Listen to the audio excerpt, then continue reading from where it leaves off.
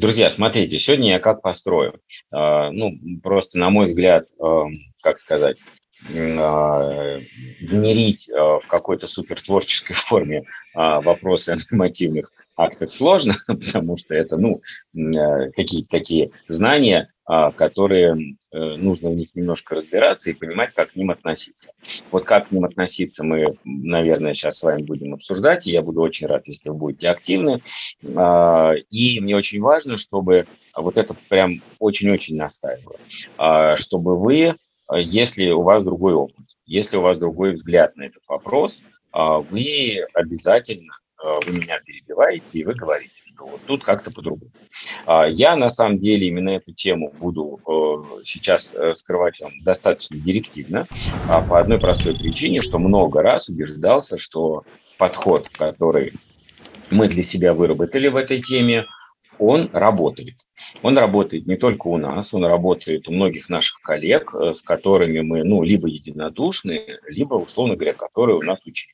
Именно этот подход мы реализовали, в частности, последние два года по отношению к нашему с нуля поднятому абсолютно проекту Даниловцы онлайн, а, где мы, вот опять же, с нуля пришли в 12 учреждений и реализовали там наши волонтерские подходы, наши волонтерские проекты, и все это, ну, работает, да, поэтому со своей стороны я буду говорить это, ну, достаточно, так сказать, ну, если не в последней инстанции, ну, в предпоследней, истина в предпоследней инстанции. Но, еще раз говорю, я э, понимаю, что у вас может быть другой опыт, другие трактовки, другой взгляд, вы работаете по-другому, и для меня это важно, потому что, во-первых, это расширяет мои горизонты, а для всех других это важно, потому что у кого-то может быть ситуация ближе к вашей, и это тоже хорошо. Итак, смотрите, значит, сначала мы поговорим о том, вообще какая роль а, волонтеров в системе госучреждений, но на самом деле шире.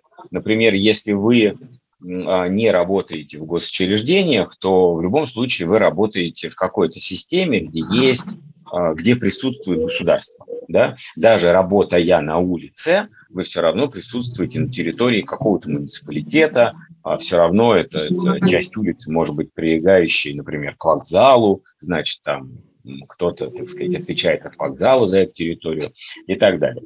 Итак, какова роль? Сейчас я озвучу несколько вопросов, а, ну, собственно, в каком-то смысле и ответы я озвучу, но мне важно, чтобы вы понимали вот эту вот некоторую развилку, некоторую развилку внутри каждого вопроса. И все эти вопросы, они принципиальное отношение имеют к теме правового регулирования волонтерства. Почему? Потому что правовое регулирование – это какие-то строчки э, там, законов или каких-то нормативных актов, и они, вот как мы сейчас увидите, трактуются очень по-разному. Трактовать можно все достаточно широко.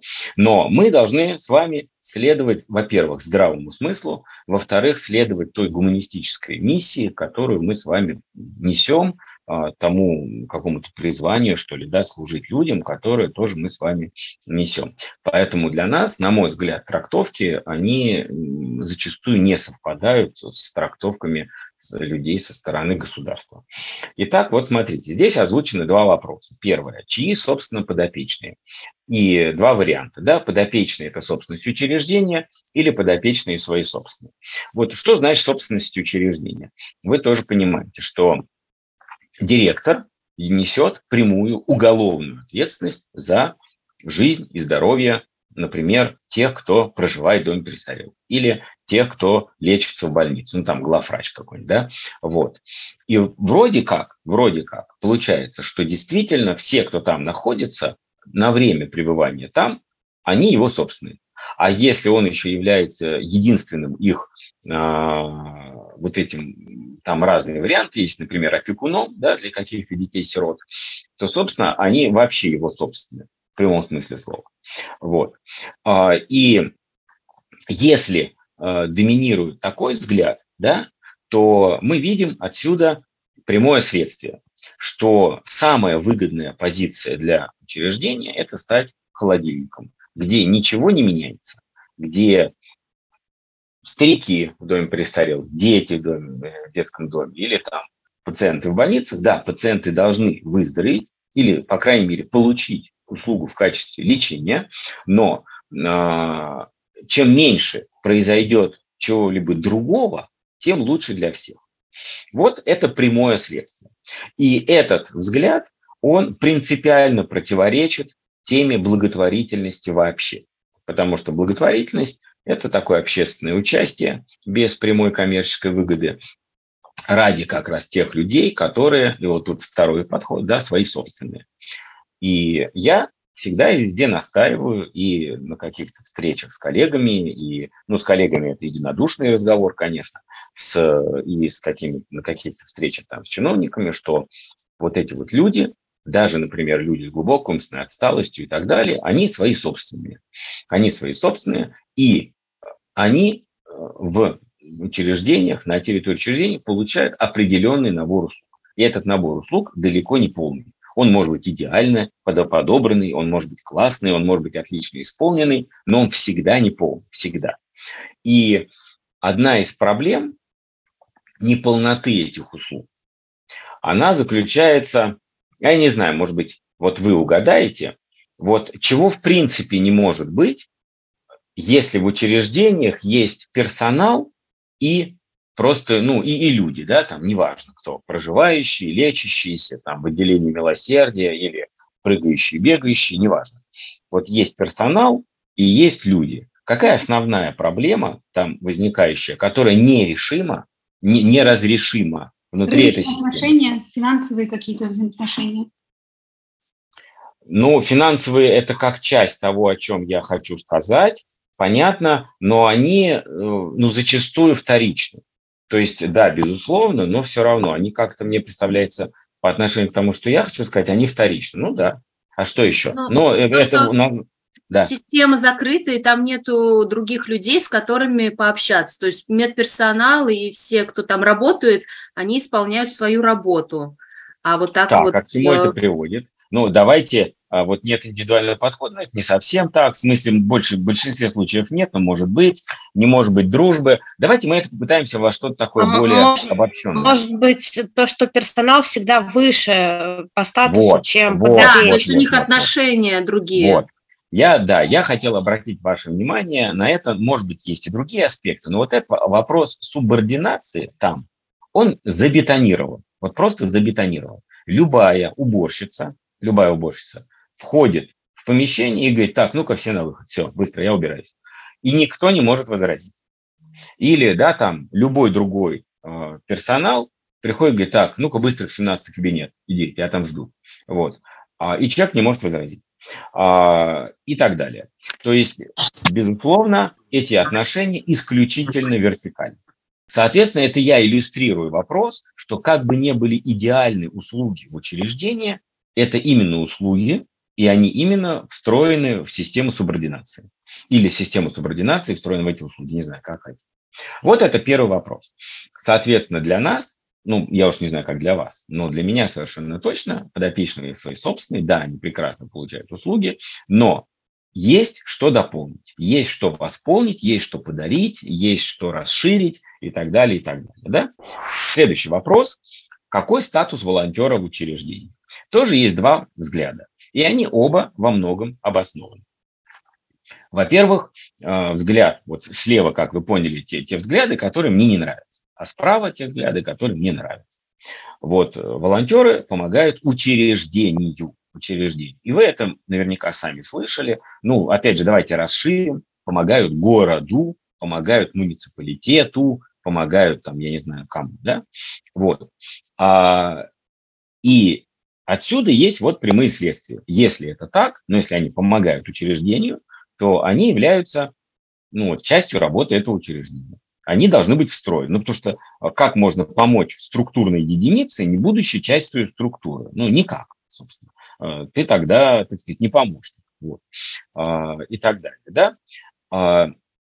И здесь такой маленький подаспект. Если волонтерские услуги профессиональные, и они совпадают с деятельностью учреждения, и тогда может быть частью там учреждения. Но, но для меня лично, конечно же, ближе подход, что волонтеры, они ради тех людей, э, кому нужна помощь. В данном случае учреждение – это лишь территория, на которой волонтеры оказывают помощь. И тогда действительно а, а, вот э, все, на мой взгляд, встает как-то ну, на свои места, что ли, да, но об этом дальше мы тоже будем говорить. Вот э, по этому пункту, есть ли у вас какие-то отклики или там тоже комментарии, дополнения? Вот. Или вы примерно так же подходите? То есть, понимаете, это же пункт не только вашего понимания и моего понимания. Это пункт прямой декларации с нашей стороны. То есть, когда мы приходим в учреждение, и даже очень прекрасный человек, который э, заинтересован в том, чтобы была классная помощь или еще что-то, он говорит, ну, спасибо, вы пришли нам помогать, то вот как раз наша, на мой взгляд, прямая задача – декларировать, вы знаете, мы вообще-то не пришли вам помогать. Мы пришли, чтобы помочь вот э, Марье или там вот этому Андрюше там или еще кому. Вот мы к нему пришли. Вот. А вместе с вами, вместе с вами мы эту помощь будем оказывать. То есть мы ни, ни в коем случае не выставляем за скобки учреждения, памятая, памятая о том, что директор несет уголовную ответственность. То есть мы не можем это выкинуть из нашей головы. Ну, действительно, он же несет, не мы. Вот. И если что-то происходит, то к нему придет прокуратура. Но вот это основание для партнерства. Для партнерства. Вот. Так, идем дальше. Вот третий вопрос. Кто платит? На мой взгляд, это самый классный вопрос с точки зрения полемики и по предыдущим вопросам тоже. Кто платит? И я бы не называла волонтерство услугой. Я специально здесь использую это слово для того, чтобы мы говорили на одном языке по отношению к тому, что делают госучреждения. То есть я специально здесь, э, вы ни в коем случае это не обесценивайте, не обижайтесь, а именно для того, чтобы мы ну, понимали, о чем мы говорим, да, потому что, например, а, даже вот то, что мы можем говорить глубокое, личное, значимое, вот волонтер подружился с ребенком, но все равно мы можем это перевести в некие, ну, условно, волонтера часы, прогулки, беседы, игру в мячик, и тогда мы можем это сопоставлять. То есть мне важно сейчас как-то сопоставлять, а сопоставлять твердое э, с квадратным сложно для меня. Поэтому я вот, естественно, здесь точно буду использовать это понятие. Вот, тем более, что в законе о волонтерстве э, тоже это понятие используется. Ну, потому что нужно как-то нам формализовать все равно эту штуку, да? Вот. Так вот, собственно, э, очень важный вопрос, кто платит. И на самом деле платить может кто угодно. Ну, платить не в смысле волонтерам, да, вы понимаете, а за саму организацию волонтерства. А обеспечить зарплату тому, кто волонтеров там привлекает и так далее. Да, совершенно верно. Само служение волонтеров, оно бесплатно, совершенно верно. Вот, но а, зарплату тому, кто привлекает, там, тому, кто э, как менеджер все это выстраивает, потом там, ну, в конце концов, еще, может быть, там оплата какой-нибудь транспорта, я не знаю, что там, реквизита там, ну, это, это все деньги, вот, и так далее. И вот, соответственно, это один ключевой вопрос. Тоже, я думаю, вы уже на слайде все поняли, что если учреждение платит при организации волонтерства, и, по сути, оно является организатором в полном смысле слова, тогда у учреждения появляется какой-то аргумент к тому, чтобы сказать, что ну, поскольку мы сами все организовали, но поскольку вот это наш сотрудник, но поскольку мы это действительно хотим максимально синхронизировать с нашей работой, то вот мы для волонтерства выставляем, э, будет про обязательно придем к этому, мы для волонтерства выставляем ряд вот тех самых услуг. Да? И эти услуги, они для нас, это я сейчас как бы от имени учреждения говорю, да, и эти услуги для нас, они вот, значит, поэтому в таком порядке стоят, поэтому вот там, я не знаю, в 9 утра прогулка, в 17 часов футбольный там турнир, там, а после завтрака нужно кого-то отвезти в процедуру. Вот, и вот только эти услуги и так далее. И если кто-то платит, пожалуйста, пожалуйста, отлично, на самом деле. Вот. Но э, парадокс в том, что я вот не знаю, скажите мне, вы, вы хоть знаете хотя бы одно учреждение, а, которое само с нуля организовало при себе волонтерский корпус. И этот волонтерский, ну, не корпус, давайте там, ну, корпус слова, на мой взгляд, в данном случае хорошее по отношению к слову учреждение. Вот. В хорошем смысле, я здесь не в плохом. Вот. А, мне такие учреждения известны, а, но их единицы. Вот, а вам известны? Учреждения, которые сами с нуля за свой счет все организовали. Не НКО пригласили, вот, а, а сами все организовали. Так, молчание, значит, неизвестно. Вот, соответственно, вот этот аргумент, кто платит, да, у нас таких учреждений нет. Ну вот, видите, да. А, вот этот аргумент, он является для вас очень классной, а, такой даже не зонтиком, а такой железобетонной а, платные дома престарелых. Ну, платные, да, но это тоже отдельный вопрос, сейчас мы к этому придем. Вот. А, он является такой железобетонной защитной стеной. Потому что вот у меня не раз были такие разговоры с представителями учреждений, когда они говорили, ну вот вы, вы знаете, нам бы вот хорошо бы вот так, нам бы хорошо бы там по пятницам, а, нам бы хорошо бы, чтобы не в том отделении, где вы работаете, а вот в другом, где там умирающие или еще что-то такое. Вот. И я им прямо говорил, ну, как бы, а, что вы оплачиваете всю организацию, вы делаете рекламу за свой счет, вы привлекаете людей, вы Э, отбираете, обучаете, готовите координаторов, вокруг координаторов помогаете сплотиться волонтерам, вы им помогаете освоить вот это дело, которое. Вы все это делаете? Они говорят, нет, а почему мы должны это делать? Я говорю, ну а почему мы тогда должны делать то, что вы хотите?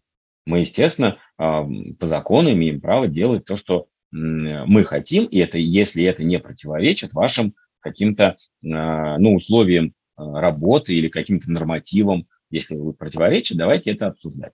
Вот. И, знаете, разговор денег всем понятен. Вот эта вот удивительная штука, он как-то всем понятен. То есть у людей сразу немножко в мозгах проясняется. А, вот. А, для особо непонятливых я могу привести а, какой-то финансовый расклад и сказать, ну вот это вот обходится нам во столько-то. Вот. Вы готовы вкладываться?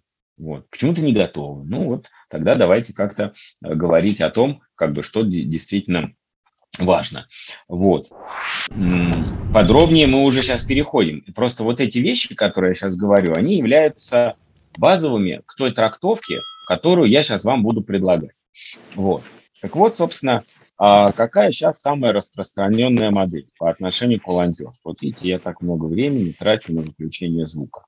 Какая сейчас основная такая распространенная модель? Оператор волонтеров некоммерческой организации сама за все платит а госучреждения вкладываются по минимуму. Вот. Сотрудники больницы, ну, в Москве не говорят, потому что в Москве, а, к счастью для Москвы, а, принята такая общая, в хорошем смысле, линия партии и правительства на взаимодействие с некоммерческим сектором. Нет, не говорят. Вот. И не могут сказать в Москве. Может, нет, нет. Спасибо. Спасибо. А, вот. Значит, э, ну вот, в, общем, вы тоже здесь все видите, это уже как бы свернутое то, о чем я говорю, да? Вот. А, мне важно подчеркнуть, что я здесь говорю не о противостоянии, мы ни с кем не бодаемся. То есть есть вопросы, конкретные вопросы, спорные, по которым мы можем полемизировать, а можем даже отстаивать свои интересы. Но в глобальном смысле наша задача не в том, чтобы что-то у этих учреждений урвать или еще что-то такое, а в том, чтобы в партнерстве с ними, восполняя то, что происходит в учреждении, помочь конкретному человеку, ну или группе человеков, которые в, кон- в каком-то учреждении находятся. И эта мысль, она, естественно, должна быть первая и главная по отношению там, к директорам, к заведующим и прочее, что мы пришли не то, чтобы что-то урвать, а мы пришли для того, чтобы в партнерстве сделать жизнь конкретного человека лучше. Просто это партнерство имеет свои правила. И вот эти правила, оно, они основаны на тех принципах, которых я сказал выше. Человек сам по себе свой собственный, а, соответственно, волонтеры не являются частью учреждения, и, соответственно, мы еще за все платим. И отсюда все остальное разворачивается. Вот. Соответственно, одна из самых распространенных задач волонтеров в учреждениях – это повышение качества жизни людей. А, ну, в широком смысле. Но давайте теперь о законе. Итак, а, что такое закон о волонтерстве или добровольчестве? Конкретного закона о добровольчестве его нет. Это добавки, а, прибавки к уже действующим законам, многим, многим, их там мне кажется, что-то около десятка. Вот. Но для нас с вами наиболее важны закон о благотворительной деятельности, теперь он называется о благотворительной деятельности и волонтерстве, и закон о некоммерческих организациях. При этом правки были внесены в законы о спорте, в законы о добровольной пожарной охране, а, и много-много еще куда, поэтому, а, в общем, действительно э, была проделана большая очень работа. Вот. И, естественно, вот э, несколько лет назад, наконец-то, э, отождествили эти понятия на уровне закона, волонтер и доброволец. До этого целые семинары проводились, чтобы людям объяснить разницу между волонтером и добровольцем. Ну, конечно, это был какой-то бред на колесиках, но вот объясняли разницу. Теперь не надо объяснять разницу, это одно и то же. Итак, смотрите, что мне важно, чтобы вы тоже вместе со мной понимали, что волонтерство – это одно из направлений благотворительности или вот этих общественно полезных целей, что на самом деле то же самое.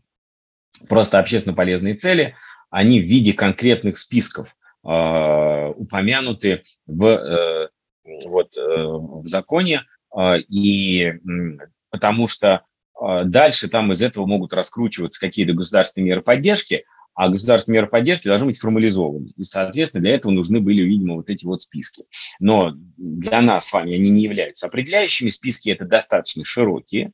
А, туда входят, в общем-то, вот эти общественно полезные цели. Туда входит там и охрана памятников культуры, охрана там природы и поиск пропавших людей. В общем, ну, боюсь, что почти все, чем вы бы захотели заниматься, входит в эти цели, а, если бы вы захотели этим заниматься вот в контексте благотворительности и некоммерческой деятельности. Но мне, еще раз, это очень важно подчеркнуть, волонтерство – это одно из направлений благотворительности.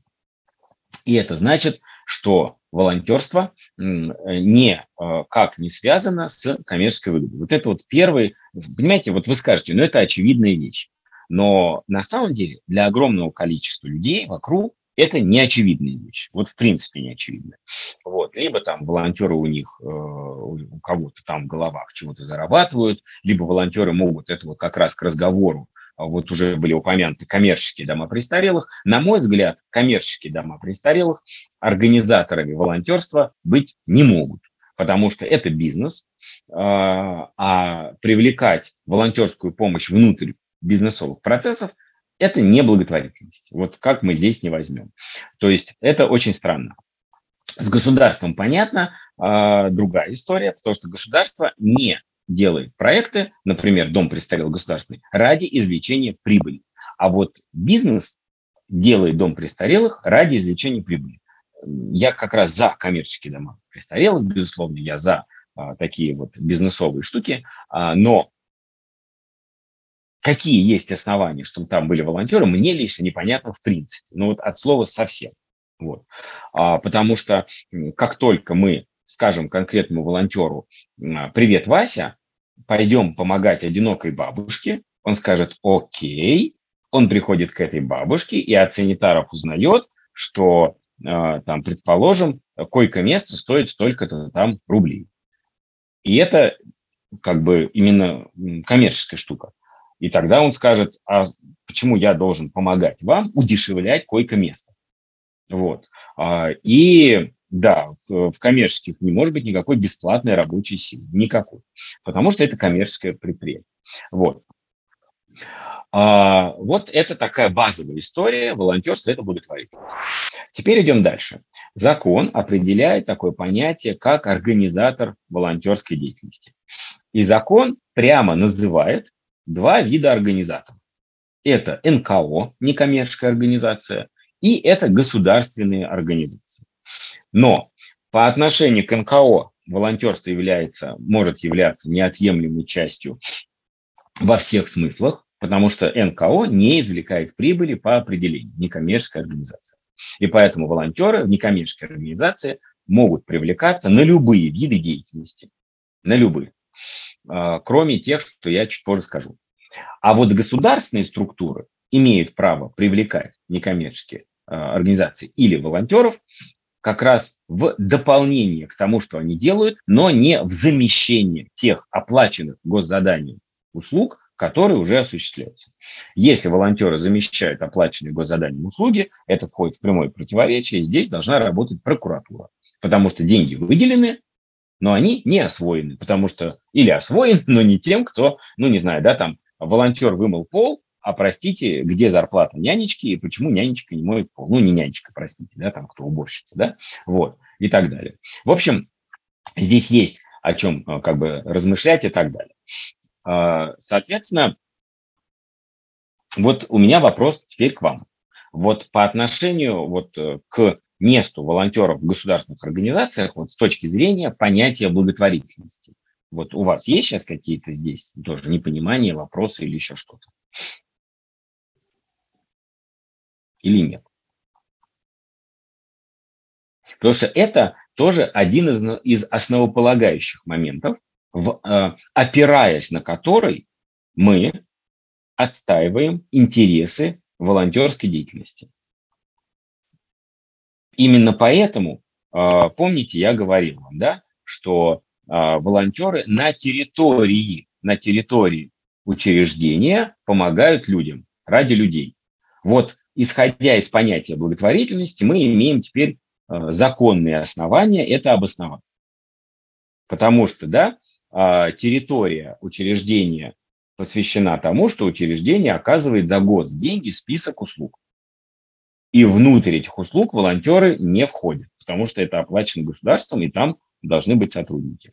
Но при этом на этой территории, территория в широком смысле, и в виде квадратных метров и в социальном смысле, в виде отношений, всего-всего, да, на этой территории волонтеры могут делать э, все, что не противоречит законодательству, э, что не оплачено государством. Вот это очень важная история. Что следует, что следует из того, что волонтерство – это благотворительность? Из того, что волонтерство – это благотворительность, следует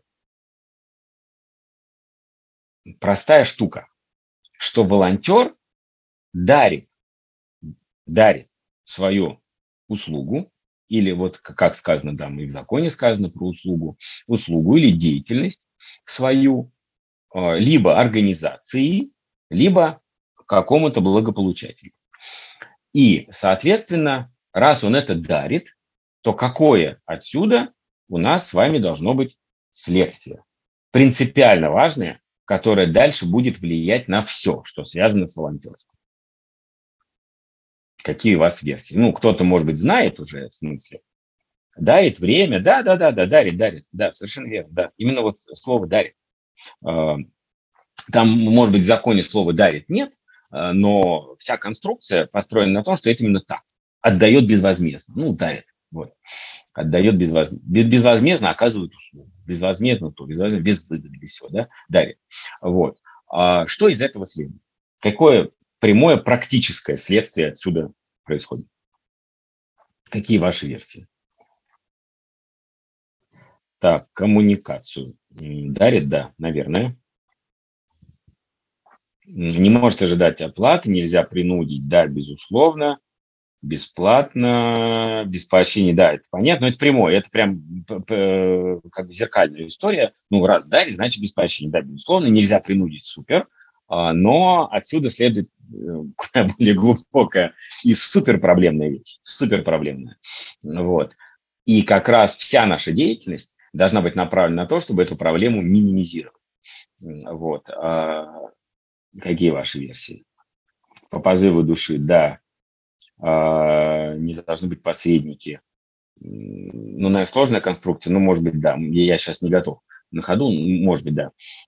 Помогает что-то решить. Не-не-не, ну, все, все, да, но я имею в виду, что это вообще не о том, мы в другую сторону убежали. Вы в другую сторону убежали. Так, ну что, версии нет? Если, если я дарю вам свою помощь, а, то повторите вопрос. Что следует, прямо следует, в том числе в правовой сфере, в правовой сфере, из того, что волонтерство – это благотворительность. Волонтерство – это есть подарок, дело или услуги, ну или хотите помощи. А, просто я сейчас не хочу переходить в категории человеческих слов, а мне важны вот эти формальные категории. А, проблемы с ожиданиями. Так, и что за проблема? Но мне кажется, тогда очень сложно ожидать от исполнителя какого-то результата, там да. требовать или, скажем так, а, если он где-то накосячил, то опять же какой-то серьезный разговор уже становится проблематичен, потому что а я тебе бесплатно сделал. Значит, смотрите, Отсюда следует то, что сказал Евгений, но давайте я вам скажу это более циничным языком, только вы не обижайтесь. Это отсюда следует прямая безответственность волонтера с точки зрения нормативной, с точки зрения юридической. Волонтер не отвечает за результат своего труда, потому что подарил то, что умеет. Ну вот, как умел, так покрасил. Как умел, так отвез тебя на машине. Э, как умел, так поговорил с тобой. Вот. Как умел, так постриг тебя и так далее. Вот. Волонтер не отвечает за результат своего труда. И, соответственно, вот теперь встает вопрос о договоре. Отсюда я сейчас скажу вещь тоже, которая может вам кому-то, не знаю, не понравится, а кто-то уже, наверное, в своем опыте давно понял, что договор с волонтером – это с точки зрения нормативной, с точки зрения основанием для какой-то юридической ответственности, это ничто. Это просто бумажка, которую вы можете выкинуть. Вот договор с волонтером – это не трудовой договор с нулевой оплатой. Вообще ни разу. Работа волонтера никоим образом не подпадает под трудовое законодательство. Вообще никак. Вот.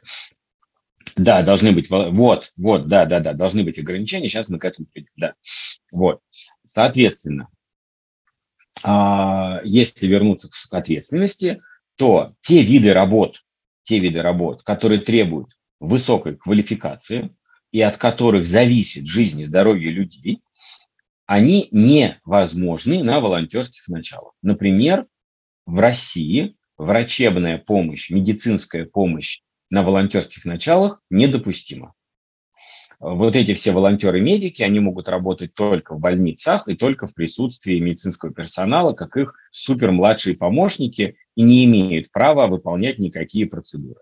Это было немножко смягчено во время ковида а, в силу лишь экстренных обстоятельств, когда больницы были просто завалены умирающими людьми. Но сейчас 100% вернулось обратно. А, то есть в России врач не может быть волонтером. Как врач, как врач. Да? А, вот и я считаю это правильно. Вот, наверное, можно найти и другие виды помощи, которые вот принципиально важны. Так вот, договор с волонтером может Э, закон не обязывает. Может заключаться, а может не заключаться. Это ну, выбор организации. Он может заключаться от имени НКО, а может заключаться от имени благополучателя. Но ни в том, ни в другом случае никаких юридических последствий от заключения договора не происходит. Договор лишь формализует наши рабочие отношения, чтобы потом можно было, ну, о чем-то, так сказать, на кухне поспорить, скажу так, понимаете? Потому что максимум, что может сделать организация по отношению к нерадивому волонтеру, ну, отказаться от его помощи. Ну, давайте я скажу слово в кавычках, уволить, но именно в кавычках, потому что вы уже тоже поняли из этого слайда, что э, терминология трудовых отношений неприменима к волонтерству. То есть нельзя уволить того, кого я не брал на работу. Вот, собственно, это про волонтеров все, да? Вот. А волонтеру как бы нельзя говорить, поработай, потом я тебе дам отпуск или еще какую-то такую штуку, вот, потому что, ну, это совершенно другой род отношений. И вот это как раз э, усугубляет ту проблему, которую я уже озвучил вот э, в начале. Э, да, да, да, да, да. В тех видах работ, где там что-то опасное и прочее, волонтер должен, конечно, ставить, что он осведомлен, но а, э, а какой все-таки тогда правовой статус волонтера? Вот вы мне можете сказать, какой правовой статус волонтера? Вот волонтер помогает в больнице. Ну, давайте уберем за скобки волонтеров-медиков. Это просто одно из исключений в нашей стране. Понятно, что волонтер-медик, он там как бы формально по статусу как супер низший персонал. Вот. А, но это отдельная история, а, вот, а иначе им там делать нечего. Ну, зачем там нужен волонтер-медик, который не медик? Ну, то есть там как-то другая история, мы ее за скобки берем. А вот, а, вот вы пришли, вот, особенно, вот, супер, Елена, ну, конечно, статус волонтера везде, просто гражданин, просто гражданин страны. То есть вы можете быть супер-супер-пупер волонтером, вы приходите в какой-нибудь дом престарелых, вы там просто человек с улицы. Вот поскольку дом престарелых не является там каким-то супер закрытым военным объектом, то значит любой человек с улицы имеет право находиться на территории дома престарелых. я так понимаю, в подавляющем большинстве случаев, когда вот эти дома престарелых превращаются в режимные крепости, это противозаконно. Вот. Да, там есть какие-то формальности, на основании которых человек может туда попасть, а, но, в принципе, отказать человеку в приходе, визите и так далее, в общем-то, нельзя. Но это другой разговор, мы сейчас его не касаемся. Вот. А, соответственно, какие варианты, а зачем вообще нужен договор? Что вы мне скажете? Ну, вот как раз если не оказал помощь, вот Елена пишет, то по закону РФ. Если не оказал помощь, то как раз закон здесь бессилен. Я обещал вам подарить услугу, а теперь скажу по-человечески. Я обещал вам прийти в детский дом и поиграть с парнями в футбол. Я не пришел. Или я обещал вам а, организовать прогулки для одиноких бабушек в доме престарелых. И я не пришел. Я обещал вам покрасить стену для того, чтобы там устроить классную детскую комнату в детском доме. И я не пришел, и ничего не покрасил. Вот. То какая у меня ответственность по закону? Никакой. Ну, от слова совсем. Да? Вот. То есть в этом смысле как раз ответственности нет. А, и тогда вот у меня к вам вопрос, зачем вообще нужны эти договора? Кто-то, может быть, уже написал что-то. Друзья, простите, может быть, включите микрофон, скажите голосом. Зачем нужны договора? Тогда с волонтером? Мне кажется, несмотря на то, что э, этот договор юридической силы не имеет, это некая э, декларация того, о чем мы с тобой договорились. И что если вдруг ты начинаешь там, да, как будучи моим волонтером, э, делать что-то, как бы двигаться в каком-то другом направлении, я могу показать эту бумажку, сказать, подожди, мы с тобой договорились вот о чем, и ты вот здесь вот подписался под тем, что ты с этим согласен. Поэтому давай или мы исполняем, или, наверное, я тебя в кавычках увольняю. Ну, ну, это один, один из вариантов, безусловно, супер, да, супер, супер. Это такая дисциплинарная штука. Согласен, абсолютно, да. Что еще? Есть два момента, мне известные, может быть, вы назовете больше. Есть два момента, когда договора с волонтером, а, ну, по сути, у НКО нет выбора. Они обязаны их заключить. И это в том числе с точки зрения закона. Вот. А, но назовите мне эти два варианта. Может быть, больше, еще раз, я не ограничиваю двумя, просто я знаю два. Два. Вот. Какие варианты? Указать безвозмездность. Это, это уже закон указал, это уже по закону. Елена, смотрите, то есть закон уже сказал, волонтерство – это благотворительность, там прям слово безвозмездно, если откроете, вы все это увидите, безусловно. То есть это уже указано, все. Вот. То есть вторично дублировать закон в рамках договора, а, ну, это трата бумаги. Вот. Описание прав. Ну, да, ну, все равно это самое. Обозначить круг прав. Ну, обозначить понятно. Это вот в контексте того, о чем сказал Евгений, безусловно, вы говорите правильно, но это уже как бы сказано, да, это мы, э, ну, как бы дисциплинируем, да, вот друг друга. А, волонтер дисциплинирует меня, типа, что я там обязуюсь, я не знаю, что там, организовать его труд, там, обучение, там, еще что-то такое. Я обязуюсь, э, я дисциплинирую волонтера. Вот. Вот, вот, вот, вот, Ольга, Ольга, да, да, да, да, да, да, да. Значит, первый вариант – это компенсация.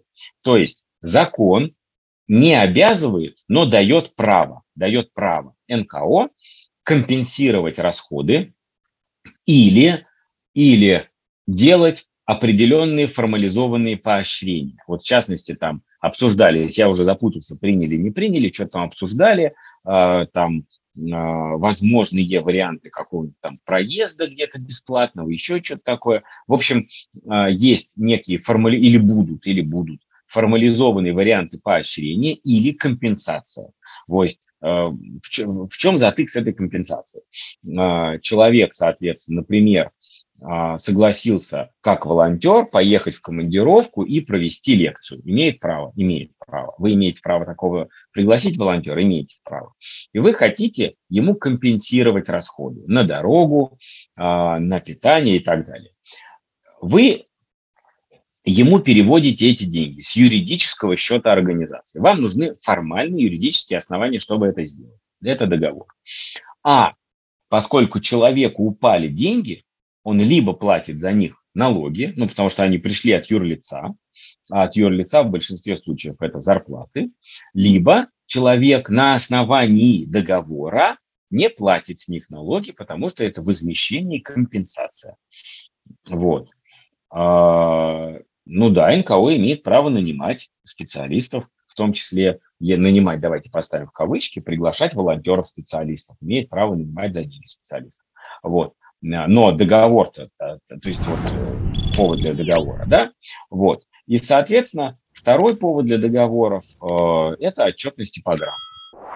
Когда вы должны подтвердить ваш нефинансовый вклад, если вы волонтеров пересчитали в деньги и в грантах указываете стоимость их человека часов то тогда вы должны это подтвердить. Вот тогда используются вот эти вот договора. Вот, э, волонтер. Может быть, есть другие варианты, вы нам назовите. Вот. А, соответственно, во всех иных случаях, во всех иных случаях вам достаточно иметь просто подпись э, волонтера э, в какой-то ведомости или под каким-то суперкратким, суперкратким соглашением на полстранички, где волонтер обязуется вот как раз ровно то, о чем сказал Евгений. Волонтер обязуется соблюдать правила э, и проинформирован о каких-то правилах. И, соответственно, если что, то тогда волонтер может быть отчислен. Это первый пункт. И второй пункт, который очень важен, подпись волонтера, и сейчас мы к этому придем с вами, э, это вопрос э, про персональные данные. Вот, про персональные данные. Вы, наверное, знаете, что действует закон о персональных данных, и этот закон железобетонный. Это просто асфальтоукладчик. По этому закону вы не можете ничего вообще с человека взять без его полномасштабного разрешения. Поэтому, соответственно, а, вести базу волонтеров только с письменного согласия волонтера.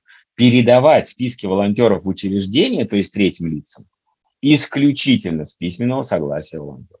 Публиковать фотку с волонтером, с разрешения волонтера и так далее, и так далее. Соответственно, а, поэтому выгодный вариант, когда у вас есть вот это некое, может быть, соглашение, в котором уже прошито все про персональные данные и там про какие-то правила, или это две разные бумаги.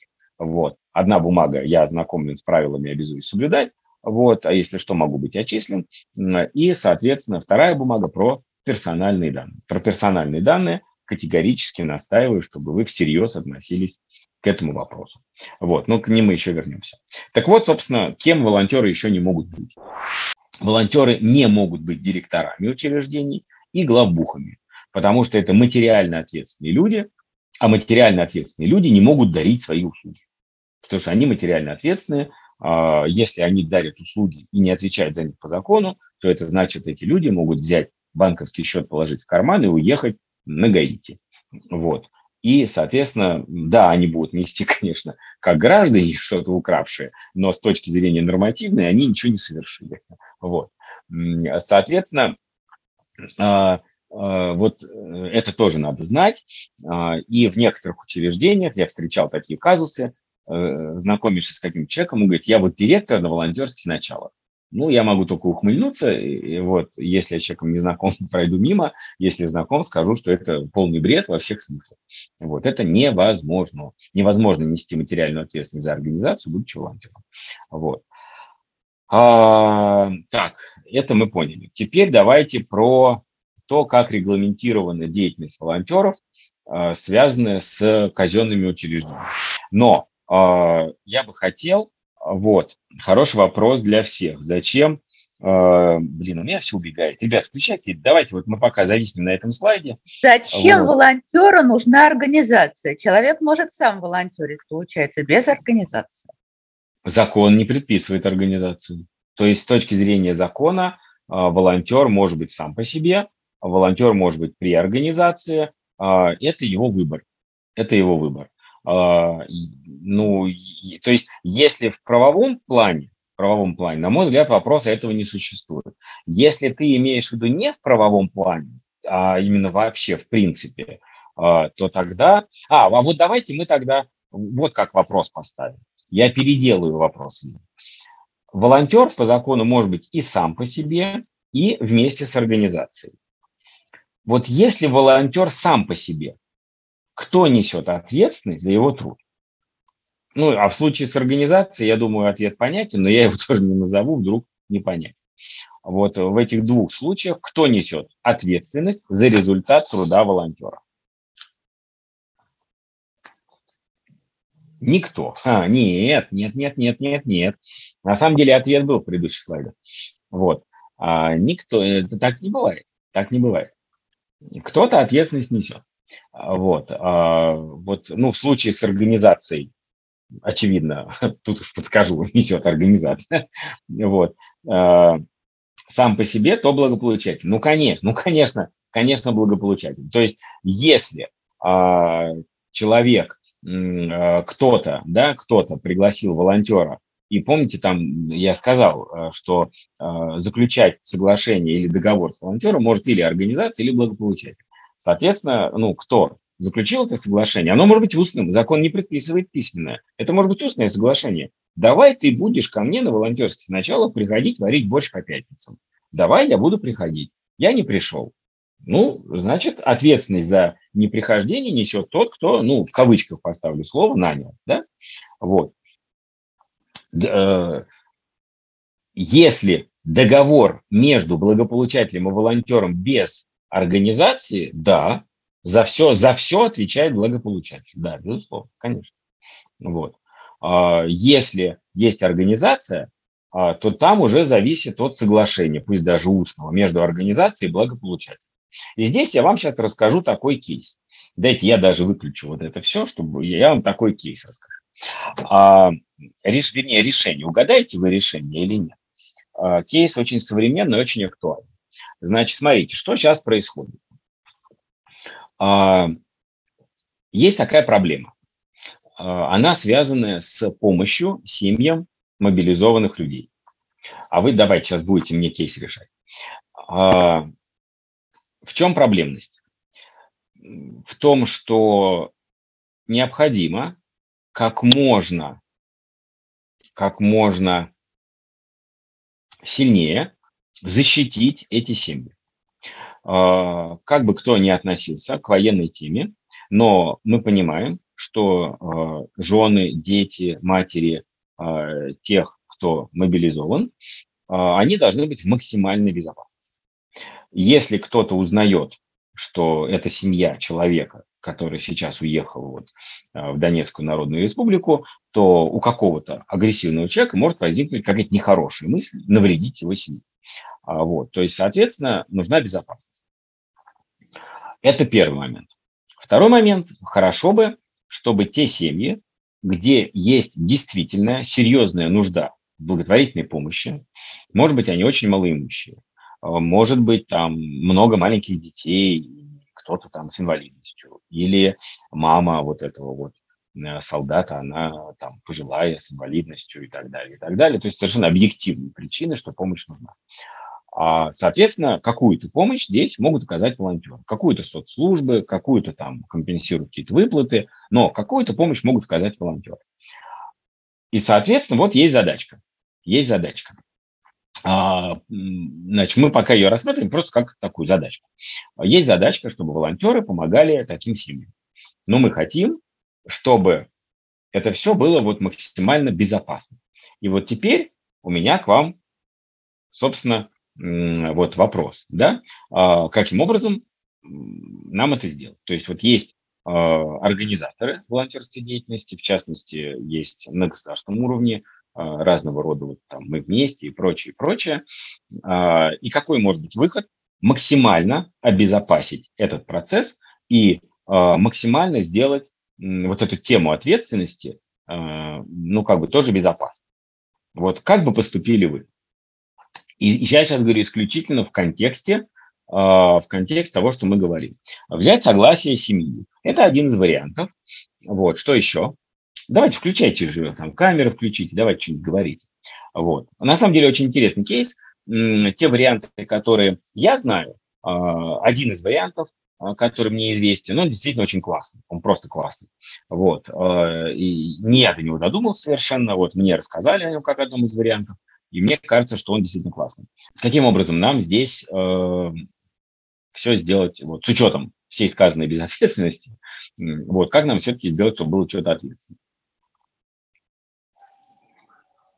Но первое взять согласие семьи. Мне очень нравится. Что еще? Ну что, молчите? Давайте, давайте. Или я буду как доске вызывать. Как там Лида говорит? Я умею вызывать доске. Вот.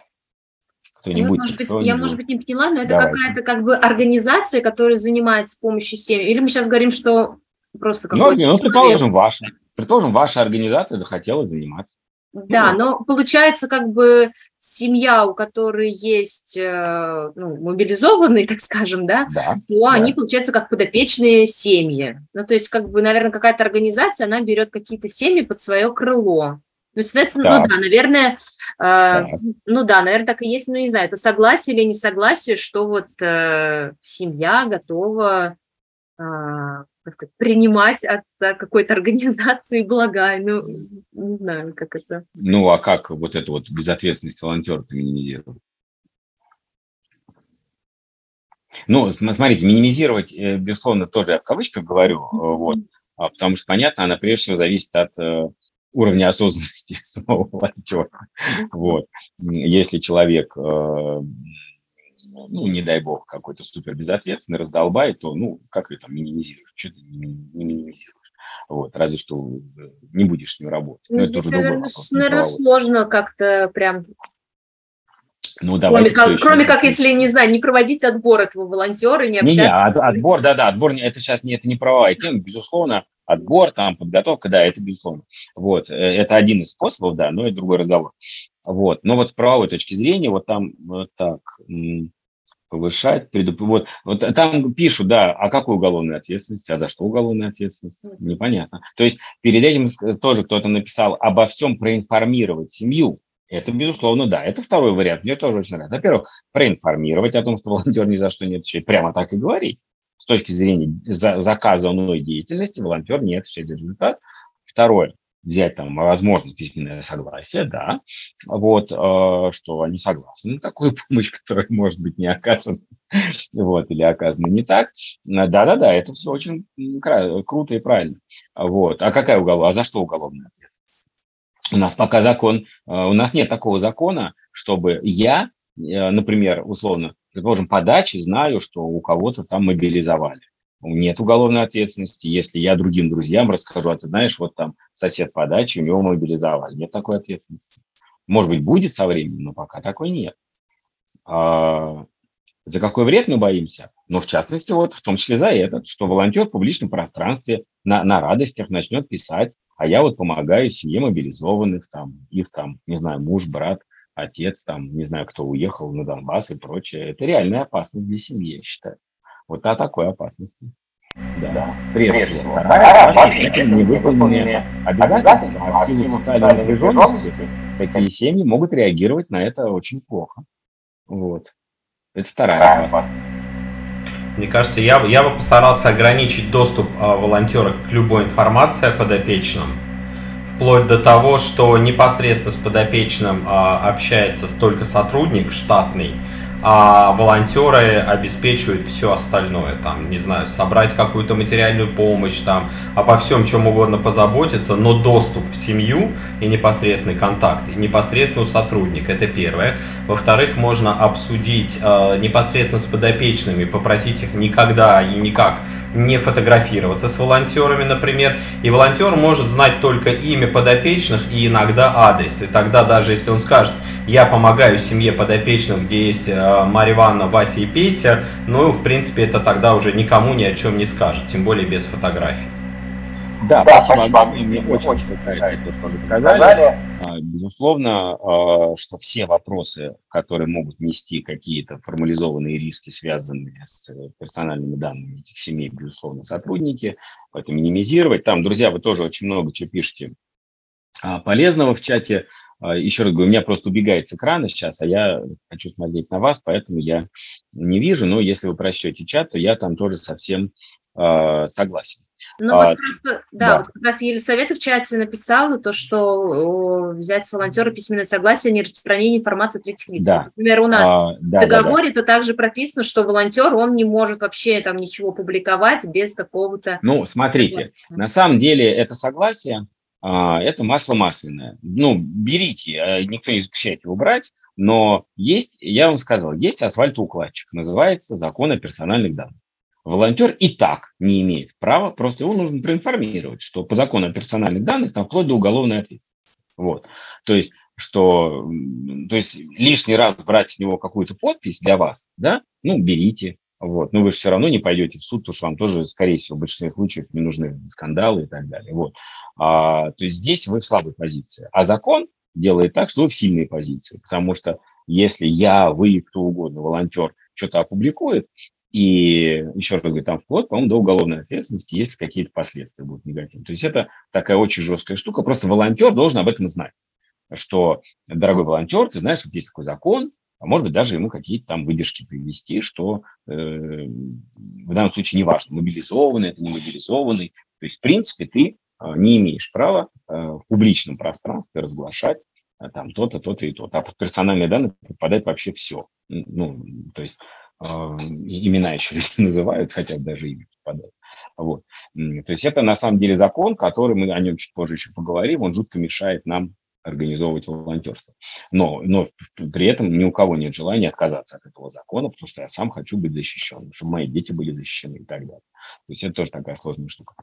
Ну вот, значит, а, так, э, экзамен, да-да-да-да, вот про всякие там экзамены и прочее, я сказал, это сегодня не, не наша тема, но я с этим всем согласен. Вот. Но еще раз тогда вернусь к тому, чтобы волонтер подписывал отдельное соглашение в дисциплинарных мерах, да, типа я обязуюсь там не разглашать, а просто проблема в том, что после обязуюсь вам поставить нечего. Тогда что? Выпарите, что? Отругаете на партсобрании, что тогда? Он обязуется вам не разглашать. И ну, скажете, ну, иди вон. Ну, он скажет, ну, хорошо, я пойду домой, надоели вы мне с вашими бумажками. Вот, то есть вот это вот, вы должны помнить, что а, вот с точки зрения именно ответственности, да, разговор э, с волонтерами, он почти никогда не имеет вот это вот «тогда что?». Тогда ничего. Вот, вот, вот и все. Вот. А, да, дальше по закону РФ, по закону о персональных данных. Да, Ирина, вот вы пишете коммент. Да. Вот. Так вот, собственно, какие варианты я соответственно, встречал, чтобы всю эту историю минимизировать. Значит, первое, что действительно вы абсолютно правы, а, ответственность в идеале должна быть замкнута между семьей и волонтером. Ответственность должна быть замкнута, прежде всего, между семьей и волонтером. Вы сказали брать согласие семьи. Зачем брать согласие семьи? Пусть они вместе даже заключат соглашение. Да, оно не будет носить вот как мы уже сказали, вот эта юридическая сила с точки зрения разруливания скандалов, но оно будет 100% носить дисциплинарный суперхарактер, где семья, подписывая вместе с волонтером, будет четко понимать, на что она подписывается, на какие услуги может рассчитывать, а волонтер будет четко понимать, что от него ну, могут как-то, ну, хотя бы так вот по совести требовать, да, раз подписался, ну, значит, там, согласился гулять раз в неделю, значит, гуляй, вот, и так далее. Вот, сертифицированный волонтер может делать с глупости. Да, конечно. То есть поймите, что в данном случае сертификация о проблеме, о его профессии, например, волонтер-психолог, да, она никак не обеспечивает то, что он может делать глупости. Вот, в конце концов, ну, все мы люди. А, но, э, безусловно, если вы хотите помочь семье профессиональной услугой, благотворительной, то есть там психолог, например, там, или консультант-юрист, да, и так далее, то, конечно, я бы спрашивал, а у тебя какое образование? Ты хоть юрист? Вот, я бы даже просил, чтобы человек показал диплом и прочее, а может даже еще предоставил резюме со своей практики юридической, вот, или психологической, конечно. Вот. Ну так вот, первая ответственность должна быть замкнута между благополучателем и, соответственно, волонтером. И тогда правомерен вопрос э, Лидии Алексеевской, а зафига тогда организаторы? Вот. Но организаторы в данном случае, естественно, они являются организаторами, а, которые, да, они выведены из этой формализованной хоть как-то ответственности, но при этом без них ничего не произойдет. Потому что вот вы здесь сами написали миллион вопросов, нужно его где-то найти, нужно его а, проверить, обучить, нужно с ним договориться хотя бы о том, что он понимает уровень а, рисков, да, вот там и так далее, и так далее. Естественно, семья это делать не будет, она это не умеет и так далее. естественно, здесь поэтому организатор. Вот. А, но а, появилось предложение, и а сейчас этот проект будет на федеральном уровне развиваться. Ну, вернее так, я скажу, он будет развиваться, но будет ли он развиваться в том ключе, о котором я сейчас вам расскажу, а, что, собственно, я вам сказал, мне очень понравилось это решение, а, я не знаю. Но, как я понимаю, да, вот как один из вариантов будет развиваться так. Вот кто-то из вас, кстати, тоже уже сказал это слово, по-моему, вот сейчас, э, Татьяна, вы, по-моему, сказали, да, что если вот, э, типа, условно, ваша организация берет шефство. Вот чтобы в этом проекте ответственность была замкнута действительно вот по сути между вот этой троицей, организация, семья, волонтер, а, значит, сейчас как же мне это вам объяснить? Разовых волонтеров не существует в этом проекте вообще. Вернее, может не существовать. Я вам сейчас говорю об одной из версий развития проекта. Может не существовать. И мне это очень нравится. Существуют только организации, которые взяли шефство над семьей. И тогда эта организация может быть разной. Это может быть НКО, а это может быть, например, трудовой коллектив местного Сбербанка. Вот. И тогда круг волонтеров резко сужается. Это уже не какие-то люди из трамвая, которые могут чудить как хотят, а это уже люди, которые внутри организации автоматически, потому что организация берет шефство, автоматически – как-то прошли какую-то проверку, а если они сотрудники Сбербанка, то уж тут вообще, собственно, понятно, да, вот, что с э, очень большой вероятностью тот сотрудник Сбербанка, который согласился по пятницам гулять с собакой, и у него есть дома собака, он любит собак, соответственно, значит, он, по крайней мере, не навредит собаке. Он может передумать, это его право завтра, но собаке он не навредит, и семье тоже. Вот. То есть вот, э, вот эта вот правовая коллизия, на самом деле, а, о волонтера, она заставляет искать действительно модели, где эта штука минимизирована. И вот модель, где берется шефство раз, где заключается соглашение между отдельными волонтерами и семьей два, а, это очень классная штука. Другое дело, что если семье нужна комплексная услуга или, например, нужна какая-то а, смена волонтеров, там во вторник один, там в среду другой, там, то, конечно, семья чокнется заключить договора со всеми, вот, и, наверное, обозлиться справедливо, вот, но как это решать, я, еще э, тоже не знаю, какие там могут быть версии. Но, в общем, мне эта штука понравилась, я ее оценил и хотел с вами тоже поделиться. Так, но мы с вами идем дальше, да? Вот, теперь давайте про, соответственно, волонтеры и учреждения. Итак, смотрите, что у нас есть. У нас есть вот это постановление правительства о взаимодействии волонтерских организаций и государственных учреждений. А, я вам там потом будет ссылка, где вы все это посмотрите. Если в сайте, э, если в чате, в чате потом спросите, я вам скину потом а, все эти э, документы. Но у нас на сайте мы их специально все выкладываем, чтобы и самим в случае чего долго не искать. На самом деле классная штука это постановление правительства. Вот. Оно, по-моему, 2018 года. Вот. И оно много раз нас выручало, очень много раз. Оно выручало нас в том числе и во время дискуссий, а, э, дискуссий, когда в Москве писались разного рода регламенты по волонтерству, и когда кто-то из коллег предлагал какую-то ерунду, а, то мы вполне могли сказать, это прямо противоречит постановлению правительства. И тогда вопрос просто снят. Все. Вот, это очень круто. Так вот, есть постановление правительства о, соответственно, а, волонтерах и казенных учреждениях. Значит, в чем его крутотень? Крутотень. Первое, что оно есть. Вот раз оно есть, и вот помните, кто-то из вас сказал, да, а может быть директор пошлет вас в лес. Ну вот при нем как-то вот не очень пошли. То есть, в принципе, любой директор, поскольку мы уже поняли, что волонтерство – это как бы такая вот, такой сферический конь в вакууме по отношению к государственным учреждениям, любой директор любого учреждения может сказать, нам волонтерство не нужно. Может, имеет право полное. Закон не запрещает. Но с учетом уже вот этой всей нормативной базы, с учетом практики, с учетом вот, вот этой линии партии правительства, руководства многих городов, или там, ну, ну, по крайней мере, крупных городов, там, Москва, Питер, там, а, и многих других, а, вот, вот уже не скажет. Уже не скажет, потому что вы тогда постановление правительства, мы сейчас это поймем, да, оно предлагает механизмы разрешения этих вопросов. Так вот, обязывает да, э, это постановление местной власти прямо утвердить порядки взаимодействия. То есть, вот опять же, а, большая часть субъектов, это не секрет, это просто признание, то, что у нас на бумаге часто все равно не доходит до дела, большая часть субъектов не приняли никакие нормативные акты по волонтерству. То есть в каких-то субъектах есть фейковые, то есть не работающие, какая-то ерунда, в каких-то есть реально работающие, вот как э, пример Москва, а, может быть и у вас, я не хочу обидеть ваши регионы, вот, а в каких-то нет ничего на эту тему вообще, от слова совсем. И как-то все живы. Но, тем не менее, есть приказ. Приказ, который надо все-таки выполнять. Вот, этот приказ есть. И поэтому здесь правда на стороне общественников. Вот. А, итак, первое. Зеленый свет обязывает прям местные власти этой темой заняться и нормализовать, и дает определенные требования, требования, как это все должно быть.